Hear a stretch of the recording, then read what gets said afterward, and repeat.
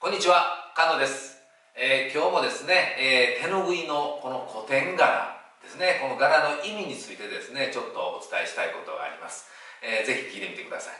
えー今日はですね、こういった柄です。えー縦ずりっていう柄なんですね。縦ずり。えーね、4本の線にそれからこういったあの金具みたいなものの絵がこうずっと延々につながっているっていう縦ずりっていうこの柄なんですですけども、えーですね、別名士官島とも言われてるんですねこの真ん中の線と線の間のこのね取っ手みたいなこれのことを士官っていうんですけどもこの士官っていうのが何かっていうとタンスなんかの取っ手ですよね昔の。えーそれがこうねこう組み合わさってずっと永遠に続くっていう意味で、えーこういったものをモチーフにしてですね作ったんです。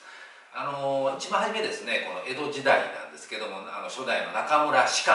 ていう人がですね、えーその時の、あのまあ、歌舞伎役者さんなんですけども舞台に立つ時にですねこの柄の着物をつ,、えーつけてですね、えーやったということですね。まあまあ今で言うあの言うたらタレントみたいなもんなんですよね。昔の江戸時代の歌舞伎役者さんっていうのは。でその役者さんが身につけたということで、えーまあ世間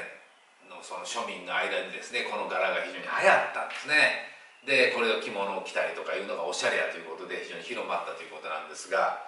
あの、まあ、中村士官ということで、えー士官この士官っていうのが名前とこの線と線の間のこのタンスの取っ手これのこと士官っていうんですけどもね,、